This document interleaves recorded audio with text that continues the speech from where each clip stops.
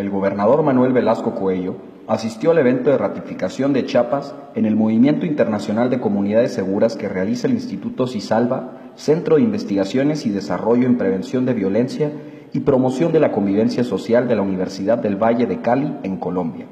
El mandatario estatal detalló que la redesignación que recibe Chiapas por parte del Instituto CISALVA, en su calidad de centro certificador de comunidades seguras a nivel internacional para América Latina y el Caribe, se debe a que ha cumplido con los principios que marca este esquema, como son la promoción de la seguridad ciudadana, la salud, educación, infraestructura, entre otros. El jefe del Ejecutivo destacó que dentro de las actividades aplicadas se focaliza el impulso a la cultura de la prevención y la participación ciudadana para garantizar un modelo de seguridad ejemplar.